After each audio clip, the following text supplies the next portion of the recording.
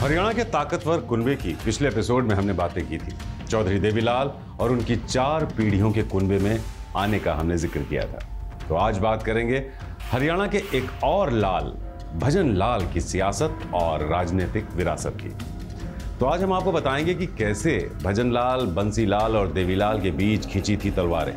क्यों वो बंदूक लेकर अपने विधायकों की निगरानी किया करते थे? साथ ही आपको बताएँगे कि कैसे एक नहीं बल्कि दो बार भूपेंद्र सिंह हुड्डा ने भजन लाल के साथ किया था विश्वासघात। भजन लाल बिश्नोई, जिनका जन्म 6 अक्टूबर 1930 को संयुक्त पंजाब के बहावलपुर में हुआ। था लेकिन बंटवारे के बाद पूरा परिवार हरियाणा के आदमपुर में आकर बस गया और आज तक वहीं से अपनी राजनीतिक विरासत का दबदबा बनाए हुए बताया जाता है कि भजन लाल ने 1960 में पहली बार ग्राम पंचायत का चुनाव लड़ा और जीते थे और वहीं से उनके राजनीतिक सफ़र की शुरुआत हुई थी।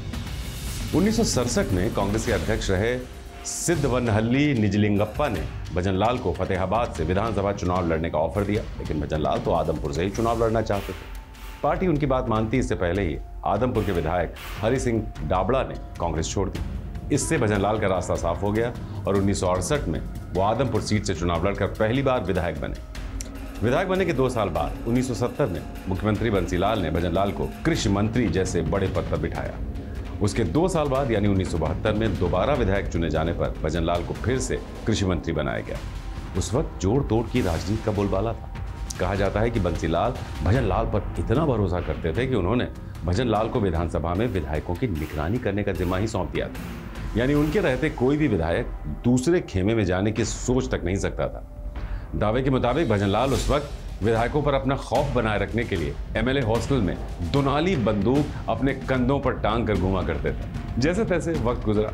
1975 आया तो इंदिरा गांधी ने ज़बरदस्ती देश पर इमरजेंसी थोप दी। इससे देशवासियों में बहुत गुस्सा। 1977 में चुनाव हुए तो इंदिरा गांधी चुनाव हार गई इमरजेंसी के बाद केंद्र में जनता पार्टी की सरकार बनी और मोरारजी देसाई देश के प्रधानमंत्री बने। आज़ादी के बाद ऐसा पहली बार था जब देश में गैर कांग्रेसी सरकार बनी। इस सरकार में भारतीय जनसंघ, भारतीय लोक दल और कांग्रेस से अलग हुए कुछ और दल शामिल थे। हालाँकि कुछ दिनों बाद ही जनता पार्टी में अनबन होने लगी। दूसरी तरफ़, हरियाणा की जनता पार्टी सरकार में भी उथल पुथल मची हुई थी। मुख्यमंत्री देवीलाल के अपने करीबी ही उनसे बगावत करने पर उतारू थे। जिस वजह से 19 अप्रैल उन्नीस को देवीलाल ने जनसंघ से आए मंत्रियों को बर्खास्त कर दिया। 6 जून उन्नीस सौ नवासी का दिन था, जब मुख्यमंत्री देवीलाल हिसार और सिरसा के दौरे पर थे। उन्हें खबर लगी कि उनके चार मंत्री बगावत पर उतर आए। उन्हीं बगावती नेताओं में से एक डेयरी मंत्री भजन लाल बिश्नोई भी थे। देवीलाल ने फ़ौरन अपने विधायकों को बचाने के लिए सिरसा ज़िले सिरसा ज़िले के तेजा खेड़ा में अपने किले नुमा घर में बंद कर दिया। अब कहा जाता है कि उन बयालीस विधायकों की रखवाली के लिए चौधरी देवीलाल खुद बंदूक लेकर घूमा करते थे। वहीं देवीलाल की सरकार गिराने के लिए भजनलाल के पास दो विधायक कम पड़ रहे थे। अब करें तो क्या करें? कैसे उस महल से दो विधायकों को बाहर निकाला जाए? इस तरह की तमाम तिकड़म लड़ाई जा रही थी कि खबर लगी, देवीलाल खेमे के दो विधायक तेजा खेड़ा से बाहर निकले। एक के घर शादी थी और दूसरे के चाचा बीमार थे। अब देवीलाल भी सियासत के मज़े हुए खिलाड़ी, समझ गए कि कुछ ना कुछ तो गड़बड़ है। लिहाजा वो बिन बुलाए एक विधायक के घर शादी में पहुँच गए और देखा कि भजनलाल भी वहाँ पहले से मौजूद हैं। दरअसल तेजा खेड़ा में जब विधायक बंद थे, तब उनसे मिलने उनके परिजन लगातार आते थे।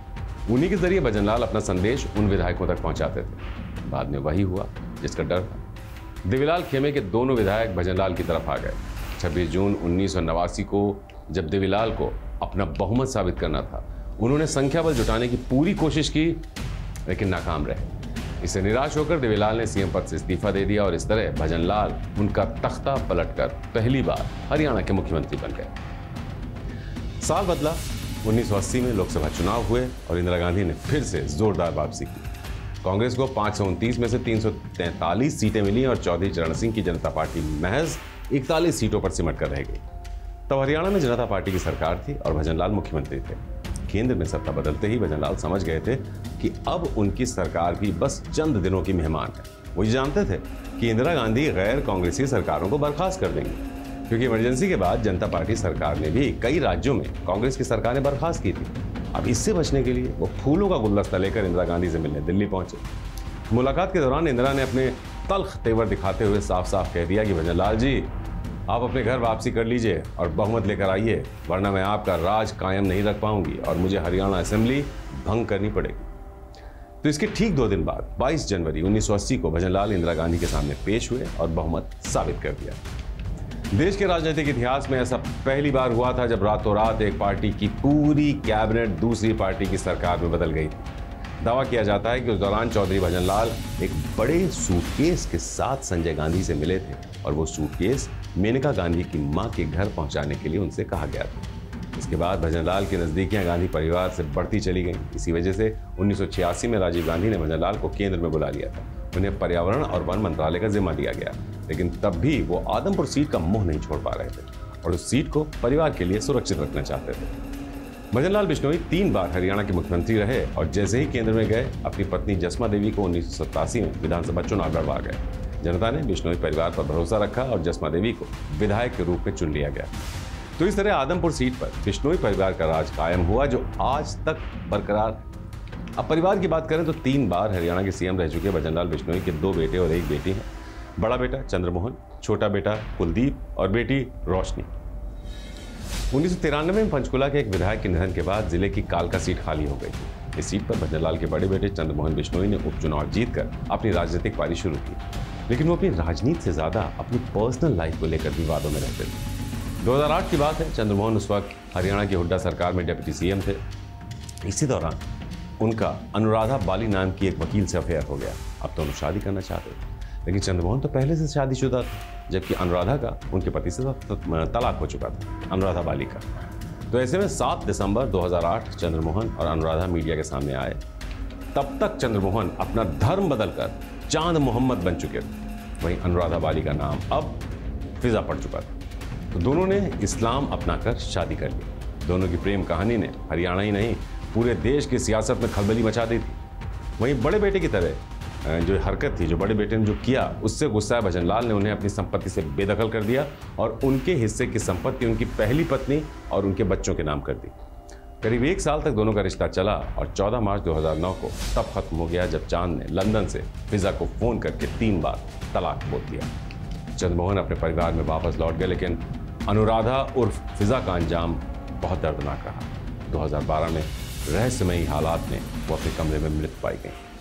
बहरहाल आगे बढ़ते हैं और बात करते हैं भजनलाल के छोटे बेटे कुलदीप बिश्नोई की जिन्हें साल उन्नीस सौ अठानबे में भजनलाल राजनीति में लेकर आए। थे उस वक्त आदमपुर में बड़ी रैली की तैयारी चल रही थी। भजनलाल के छोटे बेटे कुलदीप को राजनीति में उतारने का मन पूरा परिवार बना ही चुका था। फिर भी जनता के सामने भजनलाल ने खुले मन से कहा कि अगर किसी को आदमपुर सीट पर दा, अपना दावा जताना है तो अभी बता दो मैं योग्यता के हिसाब से उसे टिकट दिला दूँगा। उसकी बात सुनकर लोग खामोश रहे।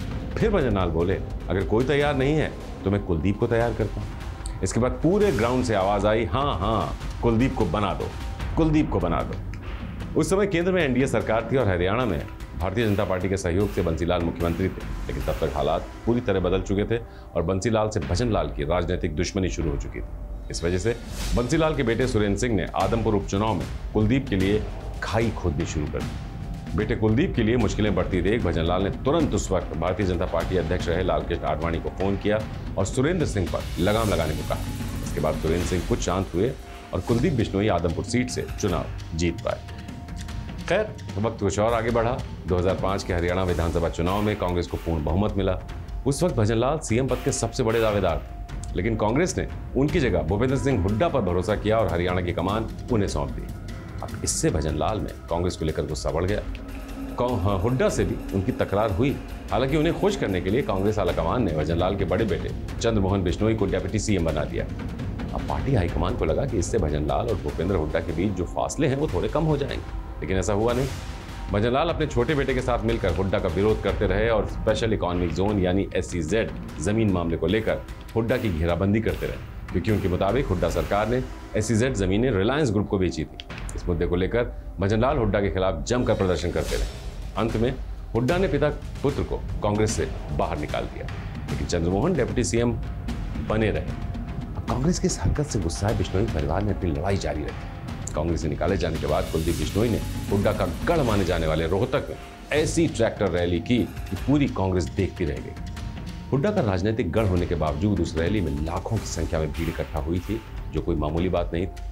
और उस रैली में एक नई पार्टी, हरियाणा जनहित कांग्रेस यानी हजका का गठन हुआ।